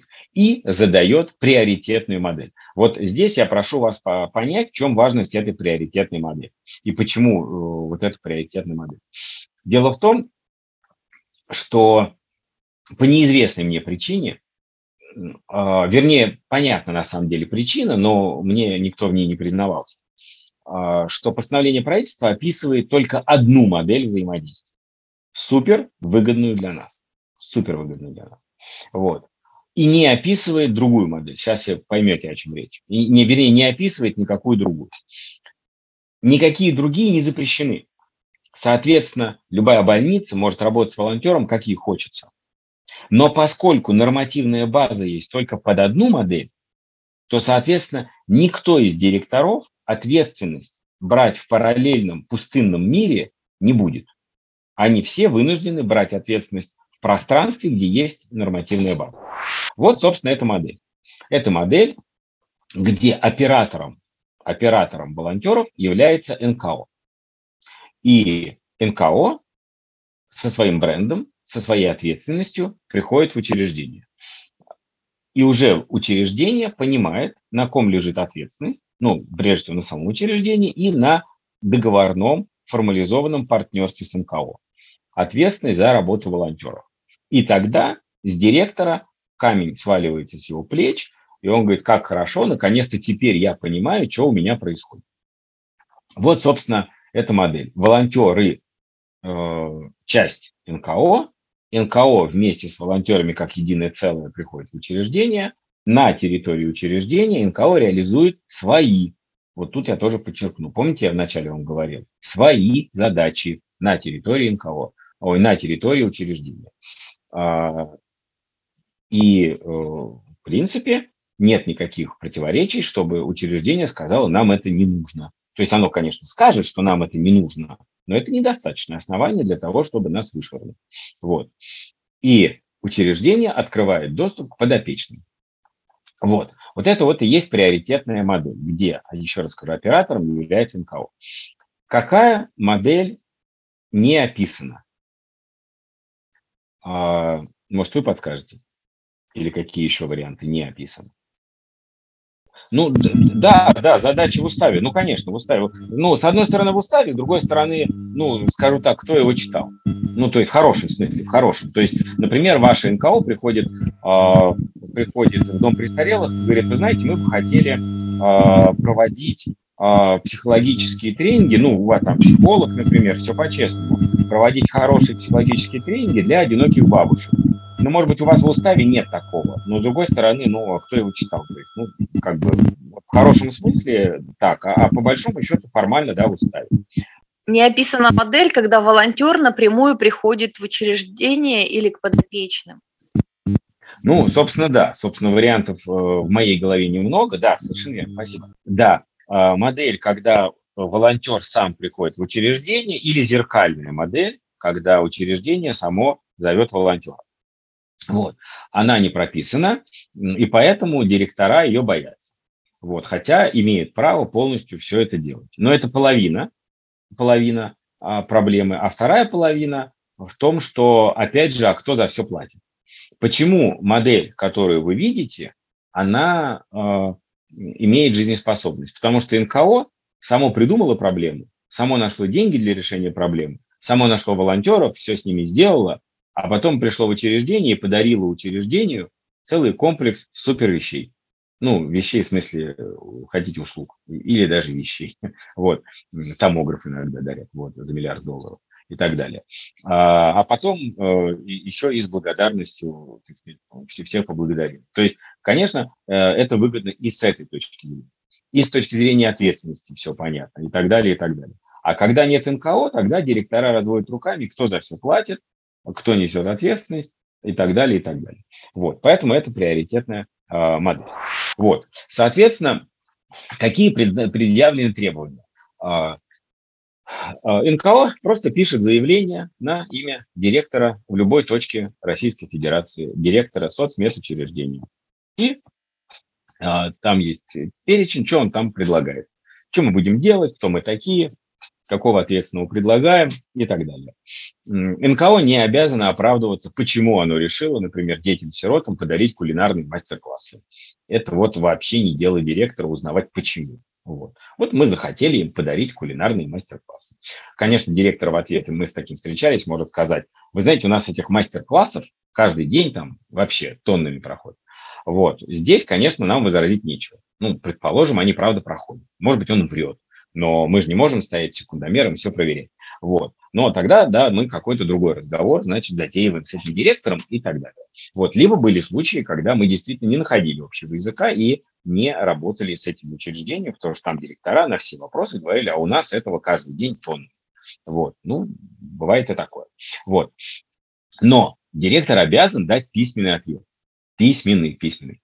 И если вы все-таки хотите туда попасть, то значит вы вправе эту штуку обжаловать. Обжаловать вышестоящую инстанцию, то есть местное министерство, которое тоже должно вам дать письменный ответ. А, или все-таки сказать директору, что он не прав. То есть у вас есть не одна попытка, а несколько попыток а, с вышестоящими инстанциями. Это очень круто. Вот. И дальше эта вся штука предписывает, что было заключено соглашение. Ну, соответственно, понятно, да? А соглашение давайте пропустим, понятно там, о чем речь, они везде примерно более-менее одинаковые. Но соглашение вы вправе туда вписывать все, что вы считаете нужным. Например, вам нужен шкафчик для одежды, или вы хотите по праздникам привозить на машине подарки, нужно, чтобы вам охранник пускал поближе там, к какому-то дальнему корпусу. Соответственно, вы тоже это все вправе прописывать в соглашении. Вот. А, но даже такое супер классное постановление правительства, еще раз скажу, я вам сейчас все ссылки, ну не сейчас, в смысле, попозже дам, все э, у вас будет. А, в чем главная проблема? Что делает госучреждение преступными крепостями? Может быть, вы мне ответите на, на этот вопрос. Вроде я вам так все позитивно рассказал. Вот, э, пожалуйста, там пишите, э, вас пускают, говорят, да, пожалуйста, приходите, вообще не вопрос. Но, и вот это вот но в состоянии полностью, полностью блокировать всю вашу работу. На практике э, те, кто работает с учреждениями, какая одна из основных проблем работы с учреждениями? Даже с теми, где директора говорят, да мы вообще что, мы вас любим, приходите. Что является одной из самых проблемных зон? Мне кажется, когда начинают в чужой монастырь со своим уставом лезть и учить профессионалов работать, ну, неправильно критиковать. Это этическая проблема. Я, я, я не про это. Сейчас я говорю про формальный вопрос. Вы здесь совершенно правильно говорите про этическую проблему, и многие учреждения, и поскольку вот э, нам доводилось учить учреждения, э, то это одна из обид, таких справедливых обид что вот к нам, не знаю, пришла, вся из себя святая, давай тут говорить, какое мы полное говно, давай нам рассказывать, как мы должны работать и так далее, и мы вообще больше не хотим таких в жизни видеть. Вот, и это справедливая обида, да. Но мы не про это, я абсолютно про формальный вопрос, про формальный. Там кто-то что-то, по-моему, написал, оно у меня убежало. Вот. Нет полного доверия к волонтерам и зарегулированность, вот что пишут в чате. А, понятно. Ну, про доверие это тоже вопрос этический, и он э, на 50% справедливый, а на 50% это просто ширма, за которой, э, за которой говорят, э, ну, как же так, вы придете, и что это вы будете с ними делать? У вас что, есть медицинское образование? Вот. Но это, конечно, хрень собачья. Потому что мы уже договорились, что волонтеры не претендуют на профессиональные услуги в подавляющем большинстве случаев. А если претендуют, например, волонтеры, психологи, логопеды, они могут подтвердить свою квалификацию И в данном случае действительно они в состоянии профессионально выполнять свою работу. Вот. Закрытость от общества. Но это тоже общая вещь. Вот за, зарегулированность. Вот кто там писал зарегулированность? Что вы имеете в виду? Здравствуйте, это я написала. Класс. Это что э, учреждение, оно э, работает в соответствии с нормативными документами, со своими уставами, вот. э, закон э, у них там, э, о них каких только нет, вот. Поэтому вот они смотрите, любым... да-да-да, супер-супер. Ну, безусловно, вы ответили то, что я хотел, но я хотел еще более сузить, сузить. Вопрос действительно в зарегулированности. И про регулированность я вам такой лайфхак скажу. А, вот сейчас вы видите слайд, то, о чем я хотел сказать. Не определены правила допуска. То есть ни закон о волонтерстве, ни постановление правительства, а, ни часто нормативные другие документы не определяют правила допуска. Они иногда намеренно обходят этот вопрос. Это такая возможность, возможность оставить у себя такой потайной рычаг способный перекрыть все. Вот. А, правила допуска не определены. И вот здесь как раз вот то, что вы сейчас сказали, простите, я а, не уловил имя, потому что я пока вижу только презентацию, вас, к сожалению, я не видел. Вот. То, что вот вы сказали, а, вот э, ссылаются на какие-то внутренние значит, нормативы и прочее. Вот я вас прошу, запомните один раз и навсегда. Один раз и навсегда ни в каких внутренних нормативах, связанных с соцмедучреждениями, слово «волонтер» не присутствует. То есть ни на что сослаться не могут. Вот если в ответ вам говорят, например, «А, мы не можем, потому что то и все, вы скажете, покажите мне этот документ.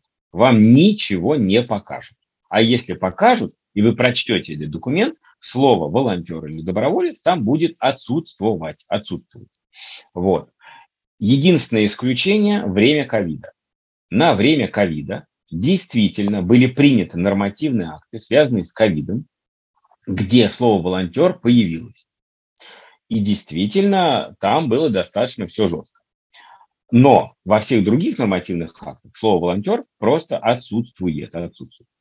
И вы смело можете говорить, еще раз скажу, покажите мне, на основании чего вы, например, требуете от нас, вот от нас как-то в одном месте требовали, а пусть к нам приходят волонтеры, имеющие педагогическое образование. Они же с детьми будут работать. Мы говорим, покажите нам, где это сказано, что с детьми могут работать только люди с педагогическим образованием, только волонтеры. А, естественно, показать ничего не могут. Вот. Потом говорят, давайте медкнижки. Мы говорим, покажите нам документ, предписывающий волонтерам иметь медкнижки. Таких документов не существует, в принципе, не существует. Вот. Или там еще что-то такое. Поэтому, значит, учреждения воспринимают... Вот почему я, помните, я вам вначале дал эту логику. И, на мой взгляд, она железобетонная. Если мы на нее опираемся, то, соответственно, вся задачка решается. Если мы на нее не опираемся, задачка не решается. Волонтеры для учреждений бесплатная рабочая сила. Раз бесплатная рабочая сила, раз бесплатные работники, работники с нулевой оплатой, значит, соответствуете требованиям, требованиям персонала. Даже любая уборщица в детском доме должна иметь медкнижку. Ну, там какой-то неполный набор анализов. А я вам говорю, волонтеры – это посетители учреждений, посетители. Даже в тюрьму посетителей пускают без каких-либо условий, лишь бы человек заблаговременно показал паспорт и подтвердил свою безопасность. Все. Соответственно, кроме темы ковида, кроме темы ковида, к волонтерам неприменимы никакие требования, связанные с персоналом. Вот. Это, я надеюсь, вы усвоили. Если от вас их требуют, требуют незаконно. Что на практике? Значит, эта проблема на практике не решена. То есть на самом деле директор говорит, вот, я хочу, чтобы вы сдавали анализы на корень. Вы говорите, а где это сказано? Он вам показывает какое-нибудь эпидемиологические предписания трехлетней давности, где слово волонтер отсутствует, но сказано, что все в мед, э, соцмедучреждения должны быть привиты на корень. Вы говорите, ну там же нет слова волонтер. И вы так можете бодаться до второго пришествия. Он вас все равно не пустит. Вот. То есть, поскольку эта проблема на федеральном уровне до сих пор не решена на самом деле. Но правда на вашей стороне. Требования недопустимы. Вот. Есть методические рекомендации Минздрава и Минтруда, которые частично эту проблему снимают. Они прямо говорят, на каких основаниях допускать волонтеров. Я вам скажу сразу здесь по секрету, который уже не секрет, допускать на основании просто того, что человек гражданин. Все, точка. Вот. Но это рекомендации. То есть любой директор может выкинуть эти методические рекомендации в помойку и сказать, я не хочу им следовать. Это имеет право. Вот. Соответственно, э, ну, дальше тут прописано, почему они вот тут боятся. Да? Вот. Теперь, э, вот теперь, наконец, эти проблемы с персональными данными здесь тоже, мы уже это с вами обговорили. Вот, э, но одна из проблем, связанная с этим, что учреждение требует от вас персональные данные, и они иначе вас не пустят. И вы вынуждены нарушать закон и дарить им эти данные. Потому что учреждения в ответ не дают вам никаких соглашений и обязательств, что они с этими данными будут делать. А на практике они ничего с ними не делают, а просто эти сканы паспортов валяются на охране, что вообще недопустимо, ни в каких смыслах. Вот. Или какие-то списки с полными данными тоже там валяются где-то в урне на этой охране. Вот. А, или принесенные вами справки медицинские, это тоже персональные данные, безусловно, а, какие-то там справки принесенные, вот, они валяются где-то в столе или под столом у какой-нибудь там старшей медсестры. Вот, то есть это все грубейшее нарушение закона персональных данных, но здесь мы в проигрышной позиции, мы здесь сделать ничего не можем. Мы же не можем целую больницу переделать. Это, ну, то есть, не знаю, у кого на это есть силы, здоровье и прочее. Вот. Ну так вот, вернемся к на что теперь опереться на практике. А как можно эту ситуацию с допуском э, волонтеров со всеми этими предписаниями разрешать? Здравый смысл нам говорит, что есть три вида волонтерства. Если вы предложите другой вариант, пожалуйста. Первое. Есть волонтеры с компетенциями, профессиональными компетенциями. Не бытовыми, как больше говорить, а профессиональными компетенциями. И эти волонтеры могут выступать профессиональными помощниками персоналу. В частности, вот волонтеры-медики, например. Или действительно, может быть, там волонтер-психолог, который э, на волонтерских началах в качестве дополнения, по сути, становится э, в кавычках работником, то есть ему учреждение еще не платит, но этот человек там каждый день ходит там на 8 часов, работает, полностью делает все, все то же самое, что и штатный психолог, просто штатного психолога там условно не хватает, потому что 200 детей, а он один. И какой-то доброход или от организации готов тоже помогать. Ну, то есть, по сути, он становится вторым психологом он не выполняет госзадания, потому что по госзаданию психолог один, вот, он не дублирует работу этого психолога, он просто пытается помочь тем детям, на которых не хватает вот этого госзадания. И это, ну, все, все, все верно, все правильно. Но с такого человека вполне можно, да, потребовать определенные какие-то справки, потому что он полноценно включается в жизнь учреждения, оказывает полноценные услуги. Соответственно, к таким людям применимы те же требования, ну или близкие требования, что и к персоналу. И здесь, безусловно, все оправдано на самом деле. Вот. Но подавляющее большинство волонтеров – это просто те, кто э, вот в самом таком формальном смысле организует досуг.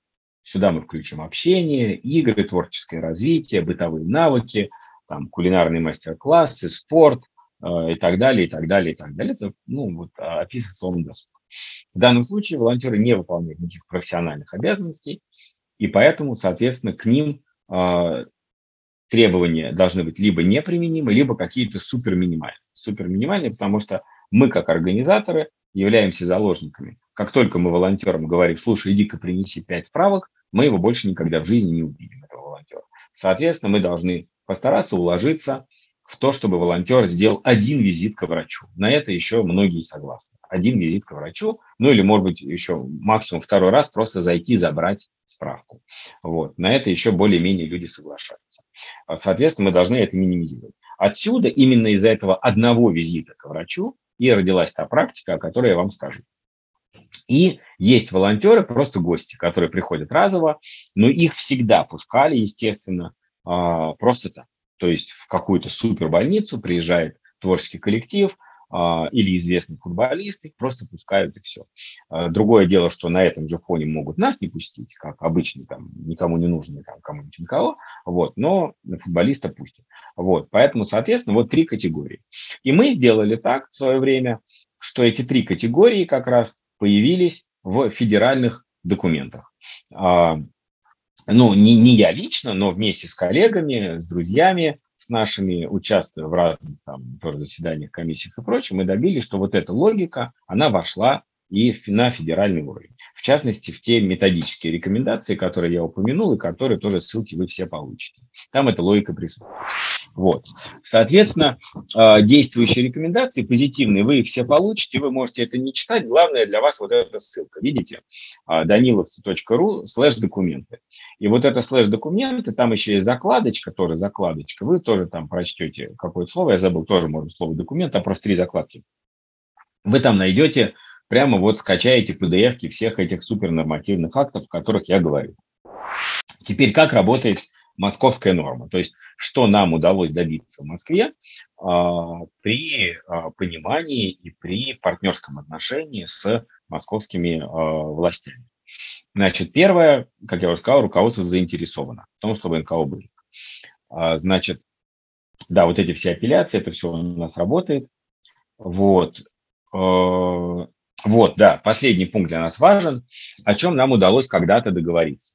А, когда-то договориться, что несмотря на то, что а, логика, о которой я вам говорю, да, Лида, спасибо за ссылку, логика, о которой я вам говорю, она железобетонная, но на практике действительно ее никто не принимает, потому что, еще раз скажу, документов федерального уровня, там правительства или еще что-то, которые как раз вот эту логику а, утверждают, нет но есть вот всякие методические рекомендации, которые можно выкинуть в помойку.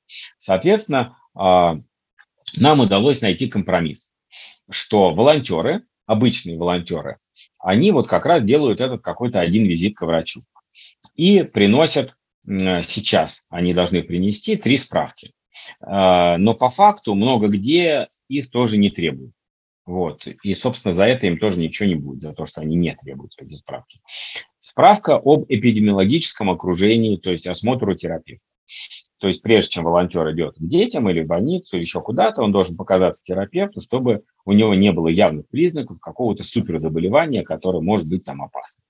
Вот. Эта справка, она получается за один день. А, значит, второе – это справка, прививка о ковиде. И частично, не везде, но частично просят еще флюорографию. Вот, а, тоже опять же, чтобы прикрыться. То есть в чем здесь проблема директоров? Директора часто в частном разговоре нам прямо говорят, ребят, мы понимаем, когда я, ну вот я как бы от имени директора, да, еду в метро, я могу привести в больницу миллион видов заболеваний, от которых могут заразиться и пострадать мои пациенты. И поэтому я понимаю, что все эти справки, все это чухня полная. Вот. Если человек сам не следит за своим здоровьем, если человек сам безответственно подходит к себе, то, соответственно, он может заразить кого угодно. Если человек сам контролирует свое здоровье, если он там признаки заболевания, там еще что-то, и он сам не пойдет в больницу, предупредит заранее, то он молодец. Но, говорит он, к нам часто приходят проверки там вплоть до прокуратуры, и, соответственно, да, да, да, я же про это и говорю, там врач может, да, конечно, они это все понимают. Но проверки должны проверки часто не разбираются. Понимаете, э, там главврач не будет человек из прокуратуры говорить, слушай, ну давай вот логику разберем, вот это вот все, что я с вами сегодня разговаривал, давай я вам все разложу по полочкам, и тогда ты наконец поймешь, какие волонтеры хорошие люди. Понятное дело, что э, там эти вот э, санэпиднадзор и прочее, им наплевать, какие волонтеры хорошие люди. И, соответственно, нужно хоть что-то хоть что-то. Вот эти списки, которые получаются от нас там часто незаконно, вот, нужны какие-то вот эти справки абы какие, вот, и так далее. И вот мы договорились об этом минимуме, вот, а, в Москве. И он себя зарекомендовал как рабочий, как рабочий. То есть, соответственно, волонтеры часто не против такого минимума. Теперь опыт даниловцев, значит, э, как мы работаем, и на этом, собственно, я дальше готов перейти к вашим ситуациям или еще что-то и так далее.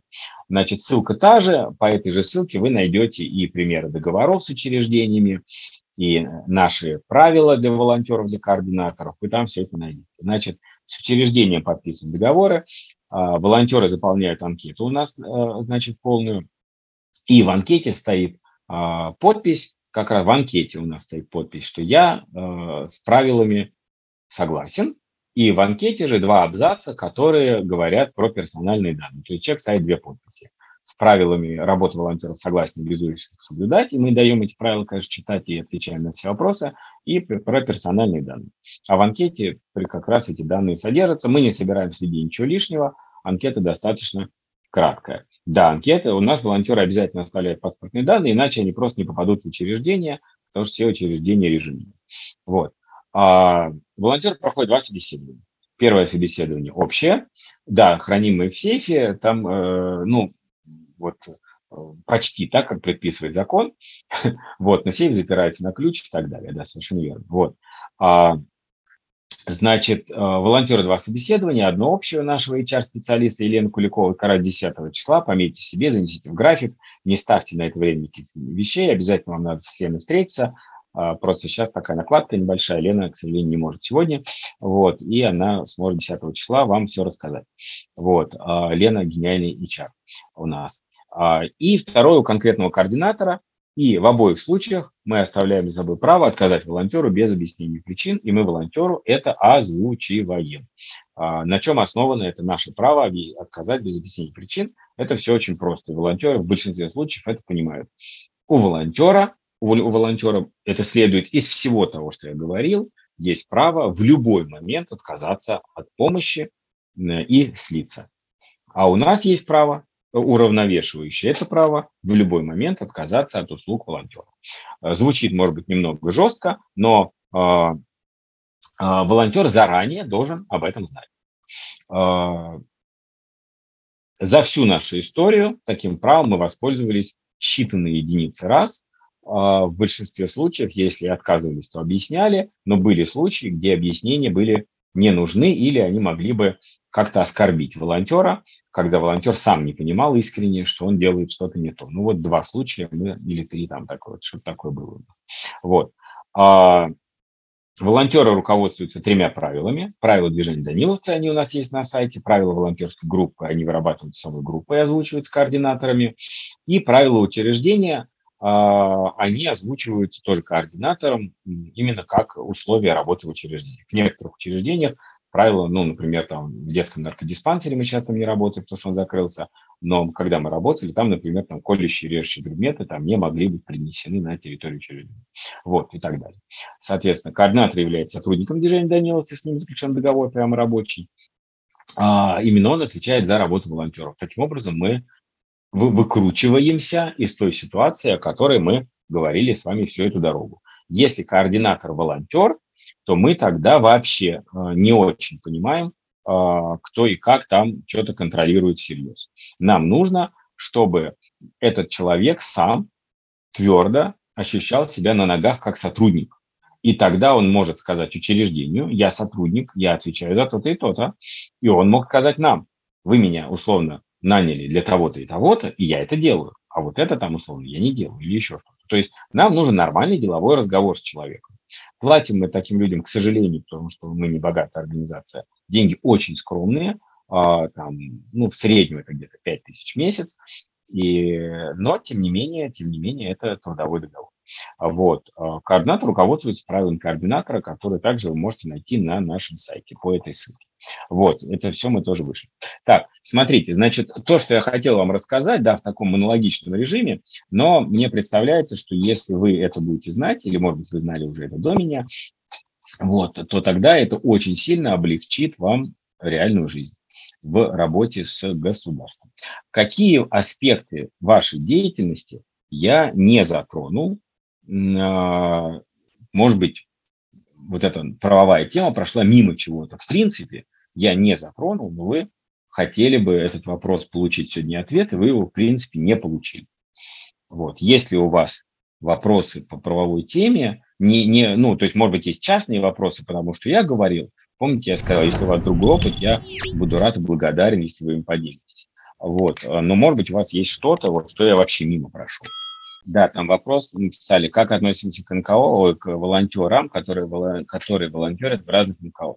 Вы знаете, ну, чисто по-человечески, если это волонтер, э, ну, давайте так тоже, раз у нас такой правовой разговор, немножко циничный, если это волонтер, в которого мы вложились, чисто по-человечески, мне иногда так немножко завидно.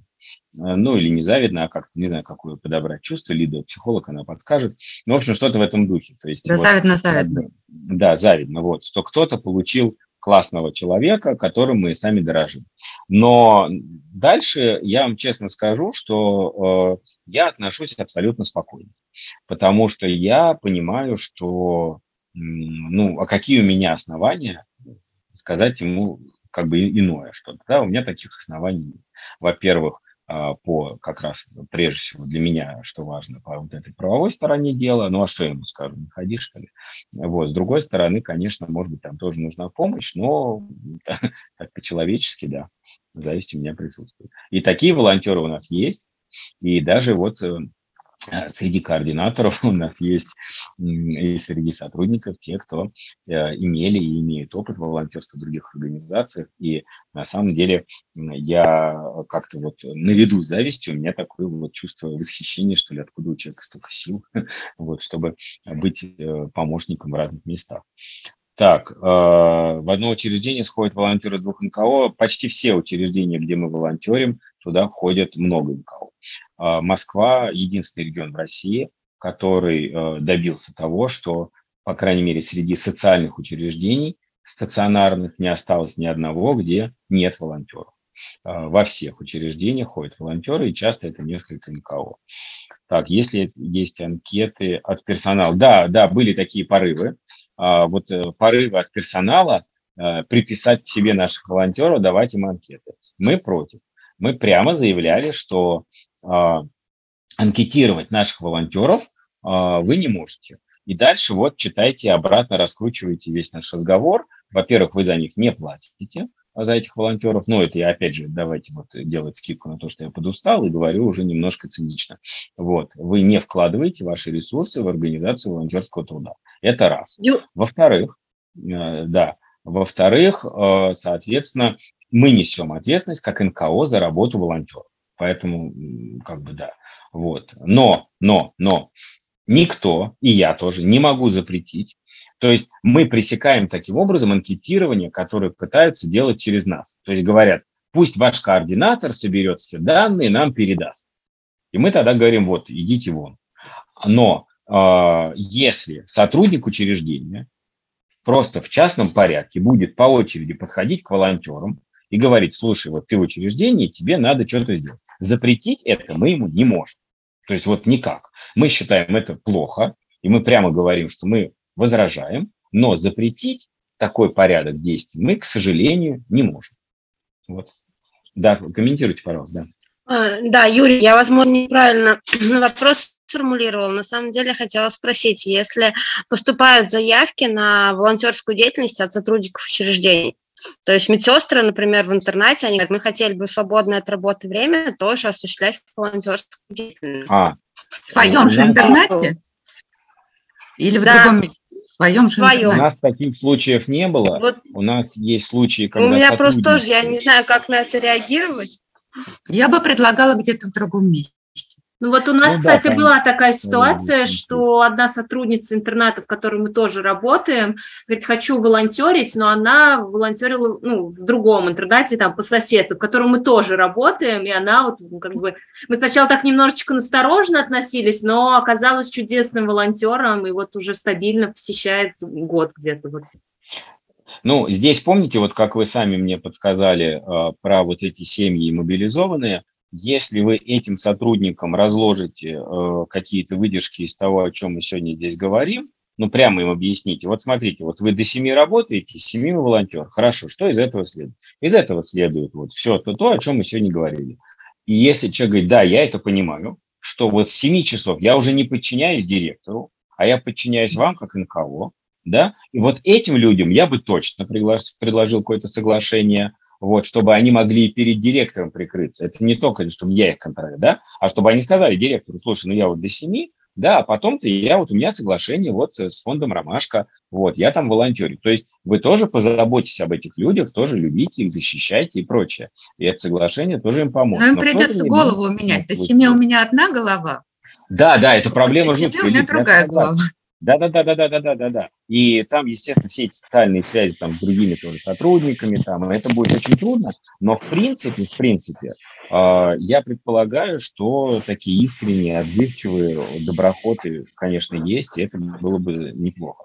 Но вот мы в эту тему войдем, я надеюсь, войдем, если у нас получится, а, частично с тем, что мы хотели бы в этом году запустить проект как раз, когда дети-подростки помогают волонтерить, сироты, сироты, и с ними в обязательном порядке будут как раз сотрудники учреждений тоже на волонтерских началах. И мы, видимо, вот, ну, почувствуем на себе всю непростоту этой истории, но пока у нас такого опыта нет. Юра, еще два вопроса. Да, да, да, да, да, да. что, говорите. А, такой вопрос. Поднимался вопрос по поводу э, медкнижек волонтеров, прививок, в том числе против ковида. Э, у нас были э, ситуации, когда э, люди искренне хотели принять участие в выходах в подшефную больницу, четвертую ракскую, но сейчас она уже э, там немножко более закрытый режим не пускает волонтеров, э, но не у всех, допустим, были сертификаты или прививки от ковида, это тоже было поводом для отказа людям, насколько обязательным является это требование. Во-первых, у нас очень многие ребята, вот именно наши в храме, они, в принципе, настороженно относятся к самой идее привива от ковида. Я уж не знаю, вот почему-то среди православных прям конкретное ну, непринятие да, да, Вопрос очень понятен. Именно про ковид я специально сделал оговорку «ковид за бетонину». Все. То есть все, что связано с ковидом, вы не перейдете, не перепрыгнете, не объедете, ничего не сделаете. Вот. То есть э, и медицинские учреждения до сих пор находятся под жесткими предписаниями по ковиду. И причем это тоже бред, потому что в бытовой жизни ковид превратился, в общем-то, в насморк, э, ну, да. и уже всем на все наплевать, но предписания, они очень железобетонные не остались, и поэтому, к сожалению, ну, в общем, тема с ковидом, да, ее вы никак не объедините. Я поняла. Да. Спасибо. Да. Угу. Елисавета? Друзья, да, Лидия попросила написать отзывы в чат. Нам, э, с одной стороны, очень важны ваши отклики. А можно, можно вопрос? Он не да, про да, да, вот давайте, организации давайте, посещения, давайте. а про посещение семей. Как Давайте. вот с точки зрения ну, документов НКО может подстраховать семью, привлекая волонтера на помощь на территории семьи в квартире? Потому что ну, не всегда получается очень глубоко проверить волонтера, насколько это добропорядочный, честный человек, и когда там человек оказывается на территории, ну, чтобы не было никаких криминальных ситуаций. Ну, вот есть смотрите, такие кейсы? Да, только, э, да, я сейчас скажу, вот, э, только здесь, пожалуйста, вы учтите, эта штука зеркальная потому что 50% случаев, хотя на самом деле, на мой взгляд, сильно меньше, если человек прошел у вас все проверки и так далее, там будет 10% случаев, что к вам пришел какой-то странный человек, и 90% случаев, когда на территории э, квартиры находятся какие-то странные люди. Вот. А, как раз для меня это скорее вопрос безопасности волонтера. А, не потому, что его там убьют, конечно, его там никто пальцем не тронет, но известны случаи, когда звонили в милицию и говорили, а что он тут шастает там, а, или там говорили, что он украл кольцо золотое, там, или что он не, не так помыл окно и теперь должен его перемывать, там, или еще что-то такое. Вот. Вообще, э, значит, волонтеры на территории на территории квартир это одна из самых проблемных, рискованных ситуаций во всех смыслах. Я бы здесь, а, если это не разовая помощь, человек принес продукты и ушел, а если это такая опека над семьей, когда человек там должен появляться мало-мальски регулярно, я бы все прописывал в договоре, все прописывал в договоре, вплоть до совершенно жуткой строчки с точки зрения семьи, но с точки зрения нас обязательно необходимой что, волонтер, что волонтеры не отвечают за результат своего труда. Вот. И семья должна это подписать. И только на этих основаниях волонтер на регулярной основе входит в семью. Вот. Э, но это я говорю про себя. Да? Вот. А, у нас были случаи, когда у нас был целый проект, потрясающий проект благотворительных ремонтов, и мы сломали себе зубы на том, что даже при всем том, что я говорю, а, у нас было два ремонта, после которых мы проект закрыли, когда люди писали условно в спортлото, Э, жалуясь на то, что даниловцы им сделали плохой ремонт. При том, что этот ремонт, э, его реально делали, понятное дело, волонтеры как могли, а, но ремонт был нормальный, ну там, да, там какие-то там, не знаю, углы у плитки там не так сходятся там, а, или там еще что-то такое, вот, но при этом до этого у человека был сгнивший пол, разрушенная квартира, не пойми чего, после ремонта у него было цивилизованное жилье, а, но при этом человек все равно был недоволен, вот, и так далее.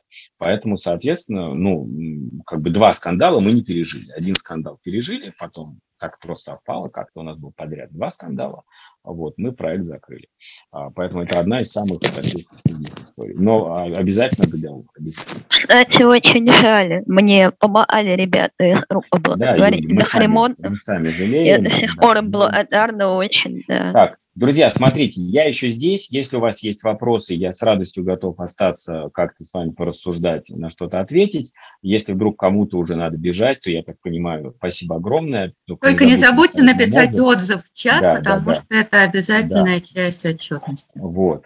А, э, значит, а зачем э, Татьяна Костева? Ну, смотрите, у вас же, про, особенно с социальным годом, а, у вас, безусловно, эта штука должна быть формализована это взаимная долгосрочная ответственность, даже если она юридически, там, условно говоря, не очень правомочна, а, то в любом случае для вас, конечно, э, конечно, это все очень нужно. Очень нужно. Да, но я здесь даже больше... Понятно, что про добровольный социальный год, э, но еще к волонтерам выходного дня просто, к сожалению, есть тоже вот как бы требования. Здесь мне жалко бумагу вашу, потому что мы отказались от этого. Вот, да, даже, даже подписывая вот эту одну маленькую анкетку на одну страничку, у нас уже забита полка полностью вот этими бумагами. Целая полка в этом нашем несгораемом шкафу. Если бы мы подписывали договора на 4, 5, 6 страниц, то весь шкаф уже был бы забит бумагами. Зачем они там стоят, совершенно непонятно. Вот, поэтому мне жалко бумагу. Ну, пусть подписывают, если у вас много несгораемых шкафов. вот. А можно еще, пожалуйста, вопрос да, как да, раз про детей-подростков в волонтерстве? У нас сейчас э, пытаемся развить, открыть э, школу волонтеров для подростков, 10-11 класс, то есть это 16-17 лет ребятам. У нас набралась э, группа людей, соответственно, мы у родителей взяли письменное согласие о том, что да, они могут там посещать там в свободное от учебы время наши занятия, волонтерство и так далее. Но вот такой вопрос, можем ли мы этих ребят для того, чтобы, да, вот у них не угасал вот этот вот запал, вывозить на наши мероприятия? Понятно, это не детишкам с ОВЗ, а, например, в детский дом. Ну, понимаете, если есть, э, там, по-моему, так, вот здесь надо уточнить, я сейчас просто не помню, уже устал. Uh-huh. Там, по-моему, до 14 вы обязаны брать письменное разрешение. Нет, не так до какого-то возраста, то ли до 12, то ли до 14, с присутствием родителей. С 14 до 18 письменное разрешение. Ну, понятно, что 17-летний, как бы в гробу он сам видел эти разрешения, вот, и еще поругается с мамой, но хотя бы там до 16, да, письменное разрешение, а дальше пусть принимает решение сам. Вот. А дальше ограничений нет. Если, условно, вы организуете, например, праздник даже для детей с ОВЗ, и этот праздник э, вы можете продумать достаточно безопасно, но здесь как раз специалистом невероятно является Лида, она вам может здесь что-то, наверное, подсказать, а, то присутствие подростков, даже 12-летних, вполне можно организовать. Вот. Э, и это вполне можно продумать. Это непросто, но это можно. И я не вижу здесь, опять же, с точки зрения инклюзии, с точки зрения развития этой темы, никаких препятствий на самом деле. С точки зрения как раз юридической, то детский дом это одно, а больница это другое. Да, в больницу. Ну, это не... уже, да, в больницу могут не пустить главврач. До 18 вот, лет. Да, до 18 лет. Но, опять же, а, если просто известны случаи, когда запрос направлялся от школы, например, и тогда врачи разрешали. Вот, то это не у нас, мы, мы так не работаем, мы не берем на себя ответственность за несовершеннолетних на территории больницы. Я просто говорю вам о возможностях, да, то есть, э, ну, больница, да, больница место, где людям хреново, то есть там, наверное, детям делать нечего, сторонним детям. А если речь идет о детях с ОВЗ в интернатах или еще где-то, то здесь вполне возможно, опять же, с точки зрения инклюзии, продумать, хорошо, качественно продумать историю и вполне возможно участие. Но, как Но я, я сказал... Я бы, на, я бы всегда подстраховала, чтобы был человек, который с этими ребятами говорит то, и который с этими ребятами да, да, говорит да. после. Да, как да, вам? готовиться надо. Вот. А, ну, вот так, да. Если какой-то родитель, там, условно, до 12 лет, ну, я не знаю, просто работаете или нет, или кто-то работает, там, условно, с 10-летним хотите куда-то поехать, я бы без родителя не ехал ни за что, ни при каких условиях. Вообще, даже если он скажет, забери его, там, условно, у меня маленький ребенок дома плачет, я бы не поехал. Пусть даже ребенок сам рыдает и, и так далее. Вот, ну, решать вам, на самом деле. Спасибо. Родители не зря, да. Вот. На эту тему, кстати, у нас есть отличный тоже, вот если напомните в чате, у нас есть отличный вебинар с нашими коллегами из Волгограда. Анна Пахомова, она супер талантливый человек, которого обожают дети и которая очень обожает детей у нее э, очень серьезный проект по вовлечению детей и подростков в волонтерство, в том числе в социальное направление. Это, конечно, такая авторская штука, мало кем повторимая, но, тем не менее, э, если напомните, я вам скину ссылку, а если вам очень понравится, тоже напомните, я вам э, сведу с ней, с Анной Пахомовой, и, может быть, там что-то будет полезно. То есть, да, тема такая интересная. Что касается работать с детьми с ОВЗ, я предлагаю, а, у нас будет перерыв на стажировку, когда у вас будет возможность посещать наши онлайн-группы, и я предлагаю в это время сделать дополнительный семинар с использованием вашего опыта по формам работы с детьми с ОВЗ в детских домах, семьях, в центрах, ваши формы спектаклей. А, То есть обмен опытом, формы. да, такой? А? Такой обмен опытом, да? Обмен опытом, да. Что у кого да. получилось. Можно делать далее. с ребятами с тяжелыми множественными нарушениями развития, да, что очень. Такой вот, вот, вот наша прекрасная Саша Сошникова в чат скинула ссылку на вебинар по работе с детьми, на такой авторский волгоградский опыт. Кого вообще интересует тема детей-волонтеров там, то, или подростков, пожалуйста, можете познакомиться. Если понравится этот опыт, то напишите нам, мы дадим контакты вот, сможете взаимодействовать. Ну что, друзья, тогда, если что, вы знаете, мы